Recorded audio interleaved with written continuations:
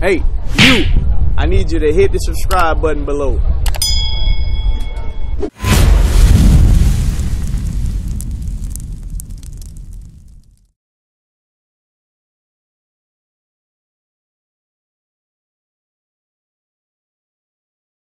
Now I got a question. Who got a girlfriend out here? We gonna get real for a minute. Single. Who got a girlfriend out here? Single. What's your name, bro? Say it again. Tate. My brother Tate. You got a girlfriend? Hey, all right, hey, look. We all did it. Hey, y'all brothers, y'all ever had a girlfriend before? Yes, sir. We did it before, right? It's it's common, bro. We ain't said we ain't acting like we ain't never did it before. We had it. we did the same thing. Bring it up. But guess what? What you said? You got a girlfriend? Not. Not no more, right? But you had one before, right? What, what about you, Michael? No, I have one before. You had one before. Baby now, Not right now, right? All right, so now we're gonna show you how God feels about that. Cause guess what? We was doing the same things. We didn't know better. But now, after we learned, guess what? We stopped doing that thing, bruh. Cause Right. God said He doesn't promote uh, boyfriend and girlfriend. According Right. to God, that's whoredom. Say it again. Husband and wife. You understand that, bruh? So now let's see what God says. Where you at? Hebrews. Yep. Read what you got. The book of Hebrews, chapter 13, and just four, and verse 4. Uh-huh. Bring it up. Marriage is honorable. God says marriage is what? Marriage is honorable. Because guess what? Let's be real. When, like you said, y'all had girlfriends before, right? Why y'all not with them no more? They, they, I'm into the word. They hold. Say it again. They hold. Okay, there we go, right? You, it was something that you didn't like about it, right? They just want money. That's it. Right, there we go, right? What about you? Now, you, you feel like your girl ain't uh, loyal, right? Yeah. What you gonna do? Go find her. You gonna drop it like a bad habit, right? Yeah. Now, exactly. Right in there. Hey, see, look, but God says that that's whoredom. You're only supposed to deal with one woman, bruh. Right. You know what I'm saying? Now, I know that's not normal in the black and Hispanic community because we say, hey, hey, I wish I could F every girl in the world, right? That's what that's what we think, right? Because guess what? We see that in music videos. We see that in the movies. Those are the things, right? Holes in different area codes, right? That's something that, right? That's what we promote. That's what we think. Hey, if you sleep with as many as women, you think that you're a man now right. right? It was a, hey, me and my cousins. It was a competition between us. Hey, bro, we gonna see we, or which one of us gonna lose our virginity first. So it was real, right? But guess what? God says that's whoredom according to the Bible. You understand? So let read what you got again. Hebrews chapter 13 and verse 4. Uh-huh, go ahead. Marriage is honorable in all. God says marriage is honorable, bro. Go ahead, read on. And the bed undefiled. Uh huh. But whoremongers Uh-huh. and adulterers, Uh huh. God will judge. God says whoremongers and adulterers He's gonna judge. Right. You understand? Now, I'm gonna show you how God judged whoremongers and adulterers. Bring it up. Deuteronomy, you know what I want? 28 verse 61. What happens when a man deals with a lot of girls? What happens? They hold. Yeah, they, yeah, They become whores, right? Absolutely. That's what whoredom is in the Bible. But what happens when a man has a, a lot of sex with a lot of women? Um, what happens to them? Say, say it again. They get diseases. That's what God says when he says whoremongers and adulterers, he gonna judge. AIDS. We're gonna read what God says in the Bible. Yep, I'm gonna show you something. Read what you got. The book of Deuteronomy, chapter 28 and verse 61. Uh-huh, go ahead. Also, every sickness, God says what? every sickness, So like y'all said, diseases, right? STDs, right? Sexual transmitted diseases. Go ahead. and every plague, Uh-huh. which is not written in the book of this law, Uh-huh. then will the Lord bring upon thee. He says the diseases that we don't read about in the Bible. Do we read about AIDS in the Bible? No. Do we read about uh, gonorrhea, No. uh, hepatitis B, No. uh, syphilis? No. HIV? Do we read about this in the Bible? No. Read that one more time. Also, every sickness and every plague, Uh-huh. which is not written in the book of this law, Which is not written in the Bible. Go ahead. Then will God bring upon thee He says God will gonna bring them upon us. Right? Right on. until they'll be destroyed. He says he's gonna bring them upon you until you die. Bring it up. AIDS. Does AIDS kill our people? No. Yes. Absolutely. Bruh, the blacks and Hispanics are number one. We are number one in every disease known to man, Right. bruh. Some, sometimes people like beat AIDS, all that stuff. They like beat this, they kiss their AIDS. Bruh, AIDS is an incurable disease. Oh yeah. It- it's a- so what they do is what, like you said, they prolong it. They take medicine to what, to uh, weaken the disease, right? But guess what? That's a lifelong disease. Yeah, you got that. Once you get it, it's a wrap.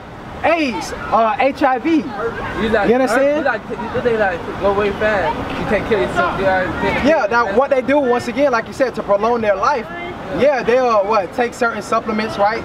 Medicines to prolong their life, right? But guess what? They can't get rid of that disease. Right. This is what God says is gonna happen to those that what? That whore out their sisters. You understand? Right. You go from woman to woman to woman. You're in. You're making yourself vulnerable of catching AIDS or Right. HIV or all of those other diseases that we spoke about. Sometimes some girls gonna say, "Oh, I don't got nothing." Let's say you, you had sex with them, you got something, you go to the hospital. I mean, so what? So now, how do you prevent that from happening? Wear a condom. Wear just wear a condom. Say it again. Wear a condom. Wear a condom. All right. Now, I want you to think about the condom mindset. When our brothers wear, why do our brothers wear condoms for real though? Why do we really do it? No baby. There we go. You don't want to get a sister pregnant, right? So, but why though? Why do we do that? Because we don't want no attachment to her. You don't want no responsibility. So now, guess what? Uh, condom is just another form of what whoredom. Because you wear that condom, you say, you know what? Hey, I can sleep with her and ain't gonna get her pregnant. You know what? After you do that, you're gonna go to the next sister. You're gonna do the same thing. You understand? I ain't gonna get her pregnant, then I'm gonna go to the next woman. Sometimes condom. Sometimes they do. And guess what? That woman gets pregnant, right? But let's see what God they- they says though.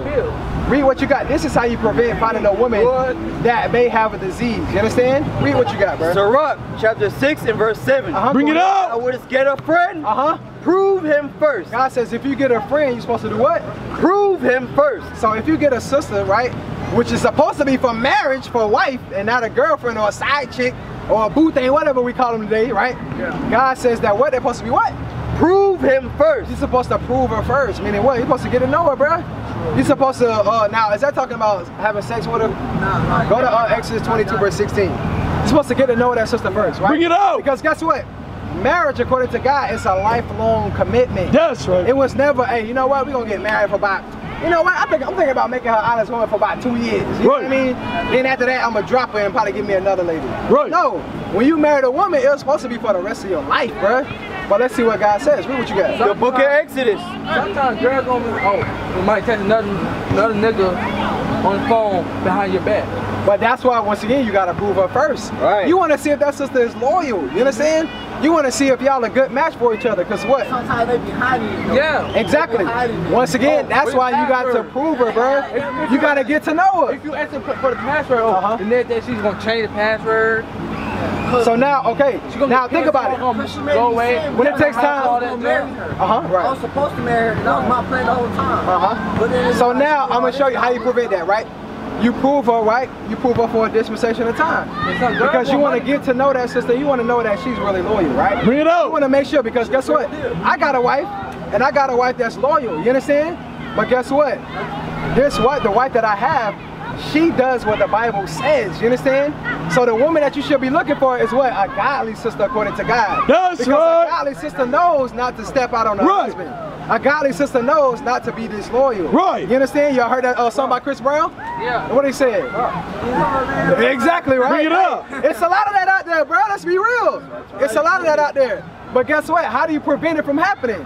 You prevent it from happening by what? Finding you a wife that's uh, according to God. Right. Read what you got, bro. Bring it up. What you got for me? Sirach 26. Yeah, read what you got. There we go. The book of Sirach chapter 26 and verse 23. Bring it out. Huh, go ahead. A wicked woman. Hey, what? A wicked woman. So a wicked woman, whole, right? Like you talk about, right? We see that a lot, right? Or thoughts, that's what we call them today, right? God says what? A wicked woman, go ahead. is given is given as a portion Uh-huh. to a wicked man. God says a wicked woman is given to a wicked man. So guess what? When you say, hey, there we go. If you say, man, I got a, a sister that ain't loyal, like you said, Chris Brown said he ain't loyal, right? I mean, him or look. There we go. So Right. that means that what? In order for you to get a righteous sister, what you gotta do? There we go. You see how simple that is? Read what you got. Go ahead. But a godly woman Uh-huh. is given to him that feareth the Lord. Read it. one more That's time again. right. I want you to read that one more time. Sirach chapter 26 and verse 23. So I'm gonna help you. This is how you find a righteous sister. All right, read what you got. a wicked woman is given as a portion Uh-huh. to a wicked man. So a Right. wicked woman is given to a wicked man, right? Read on. Go ahead. but a godly woman A godly woman, that woman you said, right? A loyal woman. A woman that ain't gonna uh, text another dude behind your back, like you said, money right? For no, take your money when you broke. Right, that ain't gonna steal your money, right? What, what's gonna happen? Call pay. But hey, look. So now, hey, this is how you find that woman. Read on. Go ahead. but a godly woman Uh-huh. is given to It says, hey, what? A godly woman Uh-huh. is given to him that feareth the Lord. A godly woman is given to him that what? That does God commandments. Like we stated earlier. Now, go to Sirach 37 and verse 12. Bring it up. Now, what is a godly woman? What is that? follows the uh, word of uh, God. Okay, give, it, give me some characteristics. It's like she's uh, She's loyal, she's smart. And She loyal, like, smart. She follows, she follows the word of God. You know, she, she goes to church. Uh-huh. She works and she Okay. takes care of her home. She don't need no. Say it again. She don't need no uh, boyfriend. She don't So need who- nobody. She just just got her church people. Oh, to take care. hey, okay, look. Now, okay, you said she go to church, right? She works, she clean. Does she walk around with her cheeks out? No, Does, is she in uh is she uh in the WAP video? no. Like uh Cardi B, Megan Thee Stallion? Bring it up. Is that a godly woman? Yeah. Because now let's be real. Who who seen the let's be I wanted y'all to be hundred percent honest. Who's seen the other WAP video? Who's seen it? I know I Be, be honest, right? But now, guess what? Those are the type of sisters that what uh, we look for, right? But you said you don't want a sister that's not this loyal. No, I got You don't want a sister like that. Those are the type of sisters that's gonna do what? Like you said, talk about uh Bad into your money. behind your back, They say, right? Oh, you broke now. Those are the I uh, sisters that's gonna step out on you, right? It's hard though because they pay us because it's like I want them to have the body and how they look like that. Yeah. But I want them to be I want my girl to be. Hey, guess what? Guess what? to be There's nothing wrong with that. But guess what? That body that she has is only supposed to be for your eyes. You Right. understand? It ain't supposed to be for every man. How you feel about your woman coming out and she showing everything Oh, that's no. supposed to be Going for you for every man out in the streets? Going to house, How you feel about that? Exactly, right? So now let's see what God says. What you got, bro? What you got from me? Uh, Sirach 26, 25. All right, go ahead. Bring it up. Chapter 26 and verse 25. Uh-huh. A shameless woman Uh-huh. shall be counted as a dog. God says that that's a shameless What a woman. Right. Now, look, I'm gonna show you something. Now, when it comes down to women, right? You said they body, right? That's what a lot of men see, right?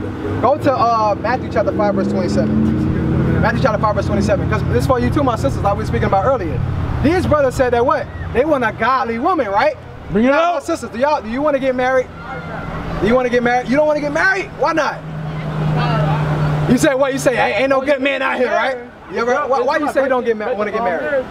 Your heart. I want I want to ask my sister. Why not? Why not? Now, this is the problem right here. The reason why a lot of our sisters don't want to get married, because guess what? They say ain't no good men out here. You understand? That's No why we teaching the here. brothers. We said what? The Bible says that what a, a godly woman is given to a godly man, right? When the man is godly, guess what? Then those women will actually admire being married to those men. Right. You understand? That's why we got to get ourselves together first. Right. Because what? When the man says he likes a woman that shows her butt cheeks, that shows her cleavage, shows her, sto- her stomach, right? Then guess what? That's what women portray to be. They do exactly That's what we like. Right. So guess what? If you like a sister that covers her body up, a sister that cooks, a sister that cleans, cause what? What Cardi B said in that song? She said, I don't cook, I don't clean, right? Then guess what? That's what women gonna portray to be. But if we say what, you know what? That's not what I'm looking for. That's what women are gonna be. You understand? So let's read what you got. What you got, bro? First Timothy chapter 2, verse 9. Cardi B out here making it Yep. awful. Hey, look, I'm gonna show you something. Read what you got. The book of First Timothy, chapter 2 and verse 9. So this is for my, my young sisters as well. All right, read what you got, bro. in like manner also, Uh-huh. that women adorn themselves Uh-huh. in modest apparel. So the Bible says that women are supposed to adorn themselves, meaning adorn means to make beautiful. So it's nothing wrong with women making themselves beautiful, like my young sisters out here, right? But it says, how are they supposed to do it? Go ahead. in modest apparel. And what? in modest apparel. The Bible says that in modest apparel, right? Go ahead. with shamefacedness Uh-huh. and sobriety. Right, go ahead. Not with braided hair Uh-huh. or gold, or pearls right. or costly array. Right, go ahead. So now it says they're not supposed to make themselves beautiful by what? By the jewelry and all that, right? By, like you said, right? Their modest clothing, but they're supposed to cover their bodies up. You understand? Because look, go to Matthew 5, verse 27. The book Now I'm gonna show you why. The reason why a lot of our sisters say that they want to get, they don't want to get married, is because what? Brothers do what? They hoard them out. You understand? Like we were saying earlier, we don't want that responsibility. We don't want a, that commitment. So guess what? We have sex with them, we give them children, right? Get them pregnant, and then we out the door. But guess what? Let's see what God says about that. the book of Matthew, chapter 5 and verse 27. This is why those things happen. All right, my brother Michael, go ahead. Ye have heard that it was said by them of old time, Uh-huh, go Thou shalt not commit adultery. Uh-huh. But I say unto you, Read on. that whosoever looketh on a woman, It says, whosoever look on a woman. So now, let's be honest, like you said, like my daughter, two brothers, they say, yeah, I watched the video. We watched it because of what? Because of how they dressed in the video, right? Go ahead. that whosoever looketh on a woman Uh-huh. to lust after her, Uh-huh. hath committed adultery with her Uh-huh. already in his heart. God Right. says when you lust after that woman, you commit adultery in your heart. You understand? So now I'm gonna show you something. When you lust after a sister, is it for the right re- reasons? Are you Bring it trying out. to make a lifelong commitment with her? No, because guess what? You lusting after her just by her body. You only want one thing. What do brothers want when they see a sister that looks good, that's showing her curves? Sex. Sex, that's all they want, you understand? That's all eh, that's all they want to do. Hit it and quit it. So now once again, this is how you prevent that. You prevent that by what? By honoring marriage, like we said, like we spoke about earlier. Proving that sister, you understand? Being a godly man. We used to scream black power while heroin was pushed. But at the end of the day, nothing's in vain. IUIC has been given a vision. The tents of Judah has risen. Many has attempted the mission. Minor murmuring, omitting, and missing the mark. Just reading that he had the flame of fire in his eyes gave us the spark. We on Paul's mission. We out on the road, purple and gold. From Mexico, Cuba, Haiti, Ghana, Sierra Leone. 144,000 boots banging, concrete crackling. These are our men repented at heart. The scriptures is proof. IUIC, we deliver the truth.